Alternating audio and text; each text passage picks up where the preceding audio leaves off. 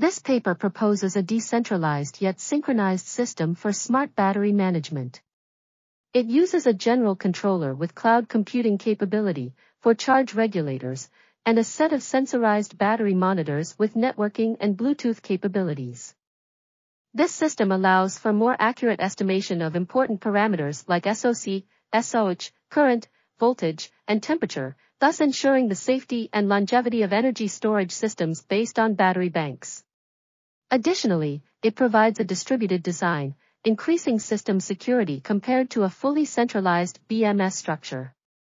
Furthermore, a modeling procedure based on Petri nets is developed, allowing for the visibility, organization, and precision of conditions that determine the operation of the BMS.